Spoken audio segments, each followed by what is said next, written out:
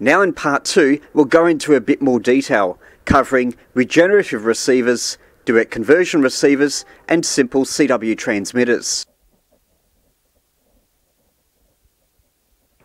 One type of regen receiver, and this is called the Armstrong circuit, has three coils. This is the main tuning coil. The variable capacitor is in parallel with the largest coil. There's a smaller coil, which is called the tickler or regeneration coil, and that's usually joined up to a, another capacitor, which is, sets the regeneration, although sometimes there may be a variable resistor here. And finally, the antenna coupling coil. If you want to cover a higher frequency, the easiest way to do it is to remove some turns off the main tuning coil. You should also remove a proportional number of turns from the tickler coil and the antenna coupling coil. With that arrangement, you'll lose coverage down at the bottom end of your original tuning range and gain frequencies higher up. It's not always that simple. As soon as you modify a receiver, make sure you're able to achieve regeneration at all parts of the tuning range. If there are spots where you can't bring the receiver to oscillation, then you may need to make some modifications to the tickler coil, possibly even winding more turns. Conversely, if the thing oscillates at some frequencies and you can't get it to not oscillate, then you might want to reduce the number of turns on the tickler coil.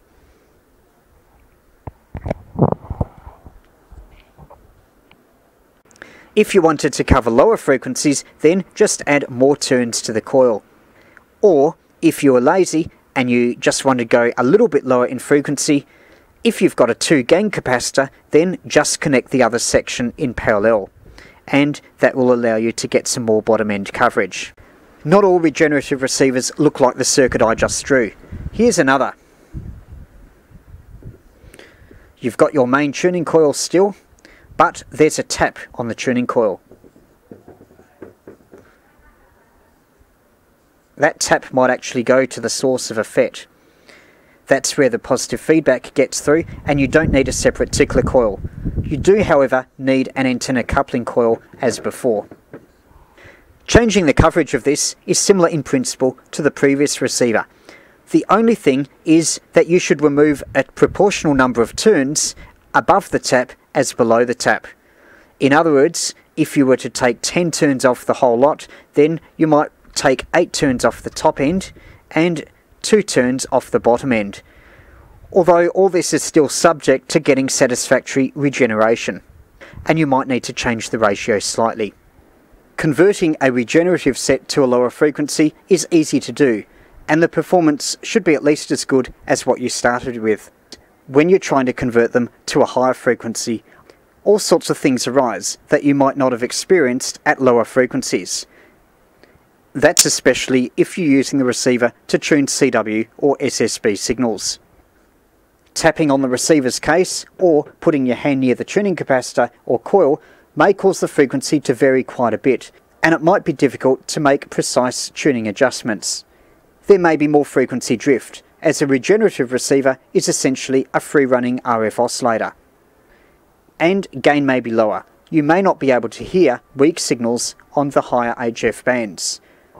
Not all those can be fixed with such a simple circuit, but if you wanted to sort out the gain problem, then you could add an RF amplifier. All these deficiencies are why regenerative receivers are generally used for the AM broadcast band and bottom few shortwave bands.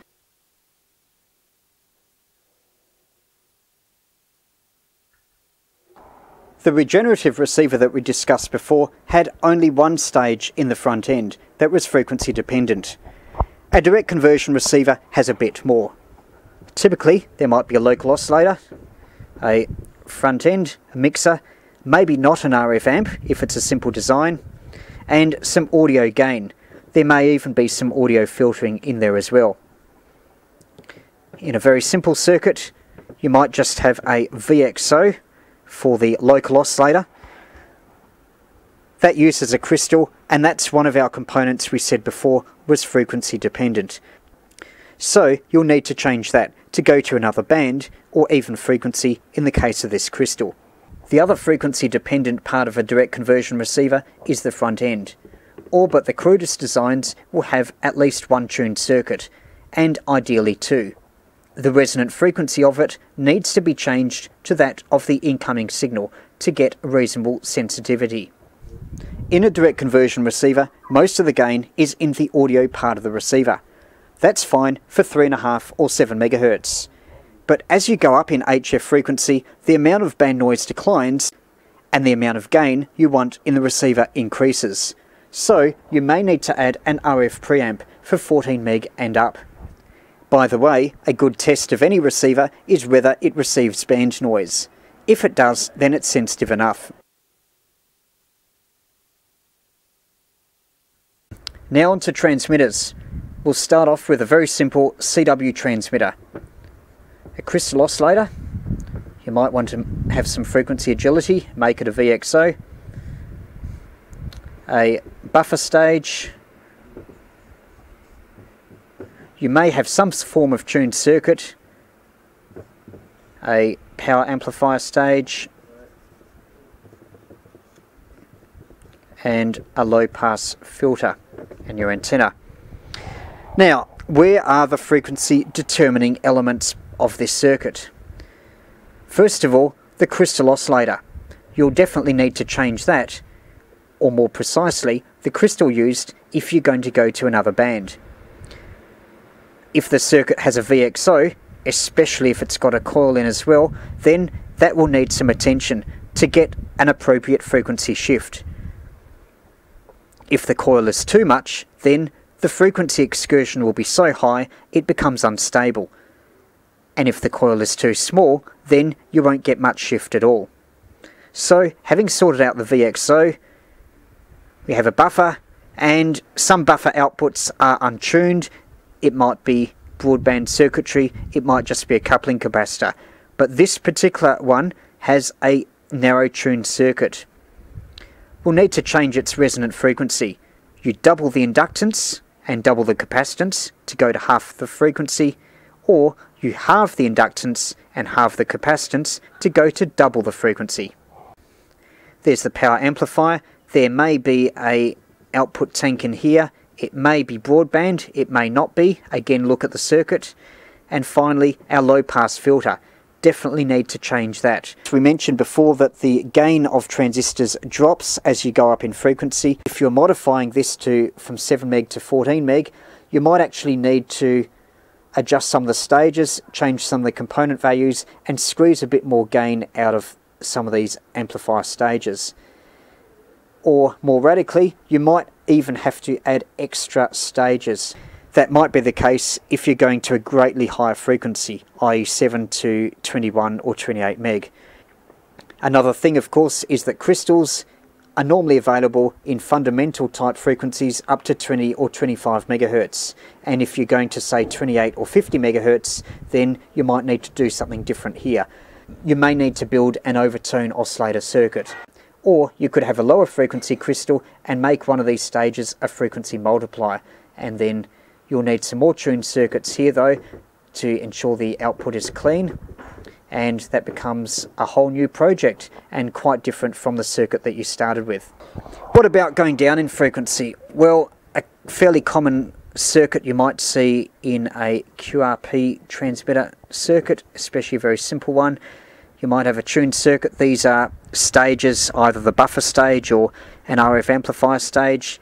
Let's say this is your final transistor, although it could also be the driver. You might have a resistor in here. Now, you may have more gain than is required. The transistor might put out more than its rated power. It may get very hot. It may have oscillations on other frequencies, so you need to tame it.